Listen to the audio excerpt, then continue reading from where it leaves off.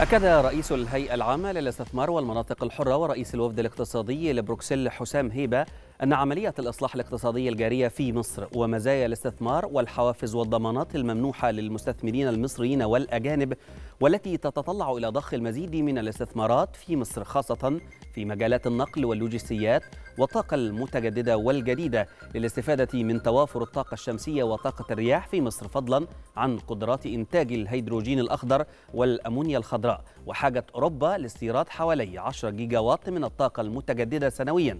كما تم تناول فرص التعاون في العديد من القطاعات الأخرى ذات الأولوية وقد جاء ذلك في إطار الزيارة التي يقوم بها الوفد الاقتصادي المصري إلى بروكسل للترويج للاستثمار في مصر واستعراض الاستعدادات الجارية لمؤتمر الاستثمار المخطط عقده في مصر في هذا العام وذلك بحضور رئيس وزراء إقليم فلاندرز البلجيكي جان جامبون وبمشاركة واسعة من ممثلين عن الوكالات التجارية بالأقاليم البلجيكية.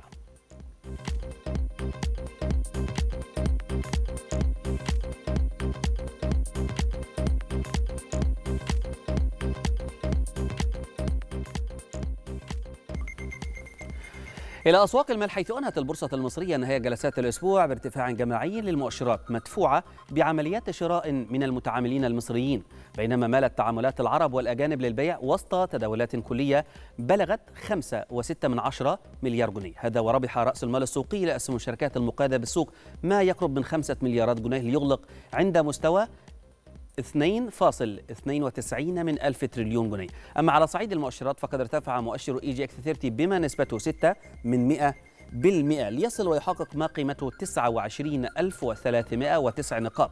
كما صعد مؤشر الشركات الصغيرة والمتوسطة EGX 70 متساوي الأوزان بنسبة 1.42 من 100% ليغلق عند مستوى 7854 نقطة. وزاد مؤشر EGX 100 متساوي الأوزان بنسبة 88 من 100% ليغلق عند مستوى 10815 نقطة.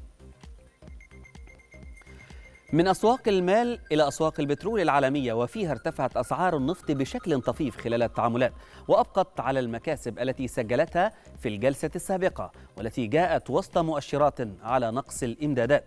في هذا الإطار صعدت العقود الآجلة لخام برنت بنسبة 9 من 100 أو 9 من 10 بالمئة لتصل وتحقق ما قيمته 83 دولار و17 سنت للبرميل. كما زاد خام غرب تكساس الوسيط الأمريكي بنسبة 7 من 10 بالمئة ليصل إلى 78 دولار و8 من 100 سنت دولار للبرميل. كذلك ارتفعت أسعار المازوت عالميا بنسبة 30% لتصل إلى 2.67 دولار للتر هذا وقد صعدت أسعار الغاز الطبيعي هي الأخرى بما نسبته 1.5 من 100% لتسجل 1.76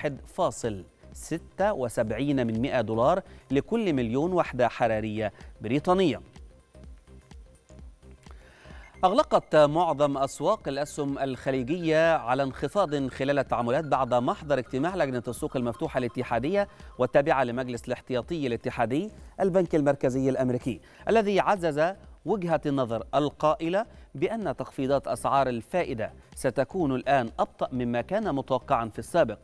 هذا وتراجع المؤشر الرئيسي لبورصة دبي بستة من عشرة بالمئة ليخسر للجلسة الثانية على التوالي كما أغلق المؤشر القطري منخفضا بستة من عشرة بالمئة.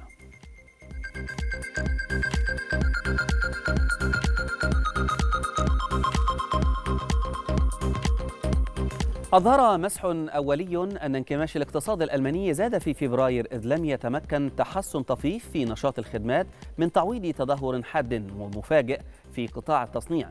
انخفض مؤشر بنك هامبورغ التجاري لمجمع مديري المشتريات والصادر عن Standard & Poor's Global إلى 46 واحد من عشرة نقطة في فبراير مقابل 47 نقطة في الشهر السابق. وبهذا يستمر انخفاض المؤشر عن مستوى 50 نقطة والذي يفصل بين النمو والانكماش للشهر الثامن على التوالي في فبراير ويسجل أسرع وتيرة للتراجع منذ أكتوبر. يتتبع مؤشر مدير المشتريات المجمع قطاعي الخدمات والتصنيع واللذين يشكلان معا أكثر من ثلثي الاقتصاد الألماني.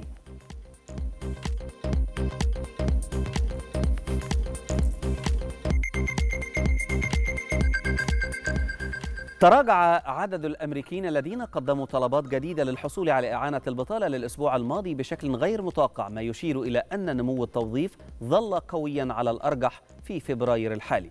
قالت وزارة العمل الأمريكية إن الطلبات المقدمة للمرة الأولى للحصول على إعانة البطالة انخفضت 12 ألف إلى مستوى معدل في ضوء العوامل الموسمية عند 201 ألف طلب خلال الأسبوع المنتهي في السابع عشر من فبراير الجاري.